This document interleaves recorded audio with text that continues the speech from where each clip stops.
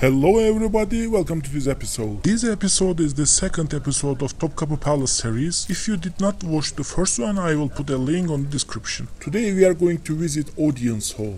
Before I start, let me pause the video for a while. As you have seen, I'm now in Istanbul for a long time and I have been shooting videos of historical places in Istanbul like palaces, mosques and other maybe sometimes hidden, sometimes famous touristic places. And I'm not sure if you are happy or not from these visits. Please comment if you like the visits and please also comment where do you want to see next. And one extra comment I want from you people is your thoughts about Ottoman Empire. I mean, until now you see a lot of mosques, palaces, buildings, some cultures, most of the things about Ottoman Empire from my channel. Please tell what do you think about Ottoman Empire. Let me continue.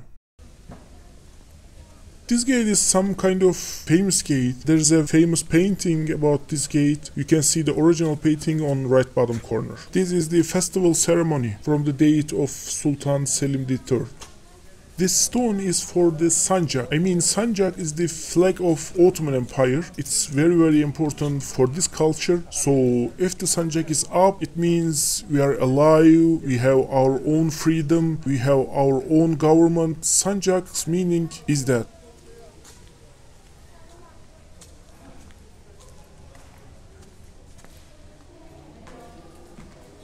And here you can see the door of audience hall.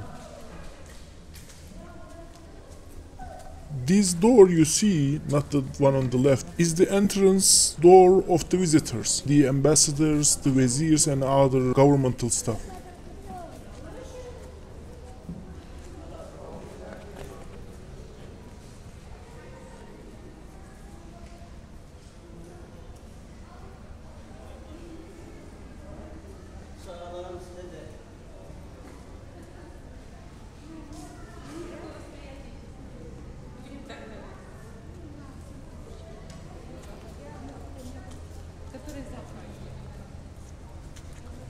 If you want, you can pause the video and read all the descriptions.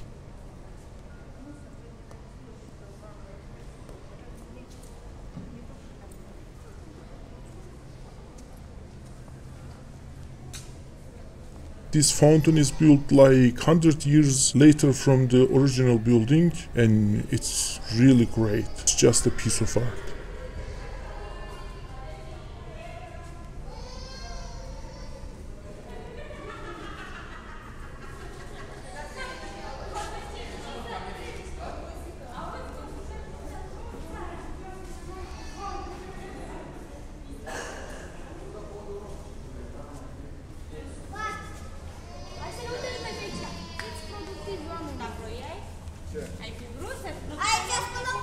The door on the left is the door where the presents for the Sultan is going to be taken. And the window between these two doors, they represent the presents to the Sultan. So they open the presents in front of the window, Sultan sees, they close and they take the present from the left door to the inside.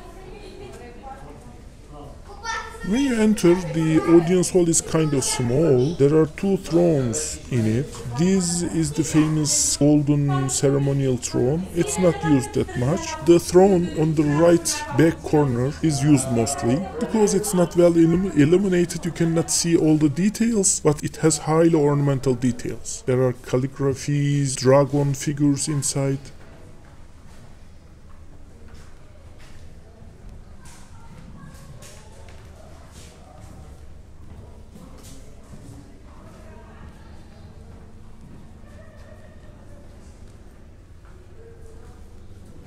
By the way, if you guys have any questions about the things you see on video, please leave a comment and I will try to explain.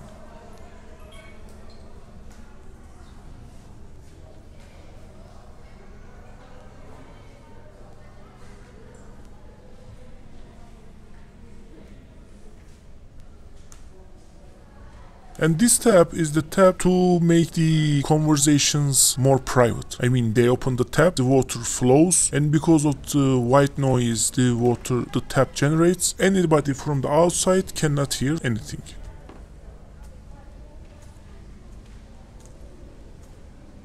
And here is the backyard.